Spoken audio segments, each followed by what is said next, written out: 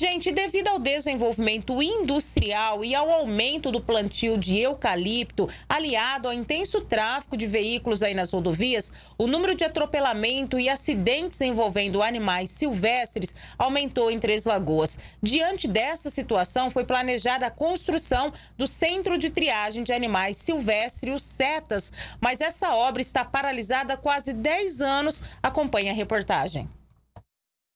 A obra teve início em 2015 como parte de uma medida compensatória relacionada à instalação das indústrias de celulose na cidade. No entanto, o centro que foi projetado para atender animais em situação de risco e realizar os primeiros socorros e triagens está paralisado. Sem esse espaço, os animais capturados pela Polícia Militar Ambiental, PMA, são direcionados ao Centro de Reabilitação de Animais Silvestres, o CRAS, em Campo Grande. A falta de um local adequado em Três Lagoas tem sobrecarregado tanto a PMA quanto o CRAS e os animais muitas vezes permanecem em condições precárias durante o processo. De acordo com o promotor de justiça do meio ambiente de Três Lagoas, Antônio Carlos Garcia de Oliveira, a situação é crítica com a captura de 3 a 4 animais diariamente. A captura de animais é diária. É, hoje se captura pelo menos dois, três, quatro animais por dia. É, não é possível que a Polícia Militar Ambiental ela possa só viver na estrada, né? levando para o CRAS lá de Campo Grande. Né? E o próprio é, o CRAS de Campo Grande ele não tem condições de ficar é, arrecadando, só arrecadando animais do estado todo. É, já que nós temos os, os CETAS no, na, no, município de Três Lagoas, que há, há mais de uma década está em construção, é hora de, de terminar, né? A hora, a hora da gente entregar aí para a Polícia Militar Ambiental ou mesmo colocar os funcionários aí do, do Instituto Ambiental, do IMASU, para poder contribuir com, com isso que a PMA faz de forma precária, infelizmente. Para o promotor de justiça, a importância de se ter um centro como o CETAS em Três Lagoas vai além de preservar a fauna local, pois possibilitaria uma resposta mais rápida e eficiente ao atendimento de animais feridos ou resgatados, evitando que a PMA precise percorrer longas distâncias como os animais em condições delicadas. Nós já devíamos ter há muitos anos, né? Desde que foram implantadas essas, essas, essas fábricas, né? As fábricas, elas movimentam praticamente a zona rural toda, né? Com máquinas, com equipamentos grandes, né?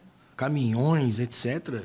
E toda essa, todas essas manobras realizadas na zona rural, elas acabam trazendo um grande prejuízo para os animais. Os animais, eles, às vezes, eles estão, é, estão em período de em período de nascimento de, de, de, filhotes e tal, acabam morrendo, né? No meio das florestas. Infelizmente, é, a gente tem uma precariedade grande com relação a esse tipo de atendimento. E a PMA é acionada praticamente em todos esses municípios, né? Ela atende daqui até Bataguaçu, de Bataguaçu até Cacilândia, e agora, infelizmente, está atendendo, inclusive, alguns pedidos de Ribas do Rio Pardo, que é um verdadeiro absurdo para o trabalho da PMA. Em 2018, foi acordado que os recursos provenientes de compensações por crimes ambientais seriam aplicados para a conclusão dos CETAS, mas isso também não se concretizou até o momento. O Imaçu informou que a obra ainda não está concluída, que falta ainda finalizar a parte elétrica e também a mobília do local. Mas o fato é que esta obra está paralisada há 10 anos. Enquanto isso, os animais silvestres que são resgatados pela PMA precisam viajar mais de 300 quilômetros para poder ter um local adequado para sua recuperação. Apesar de mais de 800 mil reais já terem sido investidos na obra, que começou com recursos de compensação ambiental, ela permanece inacabada. O promotor de justiça do meio ambiente apura ainda se mais recursos de compensação ambiental foi destinado para a conclusão desta obra. Nós já temos conhecimento é, que uma das empresas de celulose já, já numa das suas condicionantes específicas é, vai contribuir, ou já contribuiu, eu vou apurar esse fato, é, para que possa mitigar esse grande problema que a gente tem na, na cidade de Três Lagoas, no município. Né? Vamos tentar é, resolver isso.